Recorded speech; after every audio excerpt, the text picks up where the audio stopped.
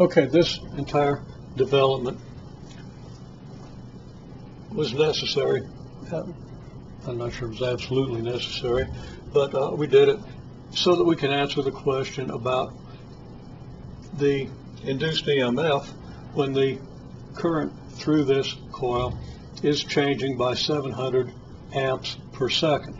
Now let me just, uh,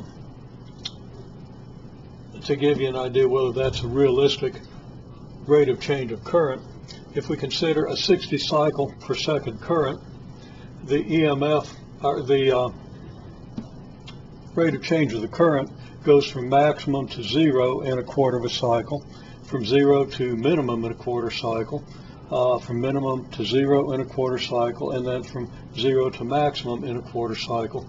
So we have uh, four changes in the magnetic flux due to that current during one single cycle.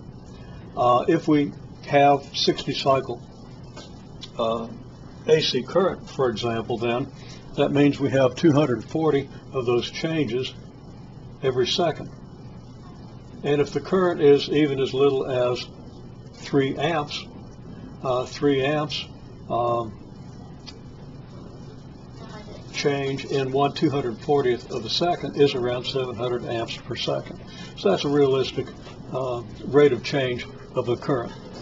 Okay, so uh, the EMF then is going to be just uh, negative L di dt. We've calculated L for this particular inductor.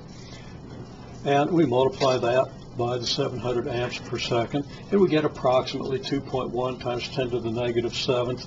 Uh, we're going to get Tesla meters per second. The amps are going to divide out. We're just going to have our Tesla meters here, second in the denominator here, and a Tesla meter squared per second is a unit uh, of flux divided by a unit of time. In other words, a unit of rate of change, time rate of change of flux. And that unit, the SI unit, is the volt.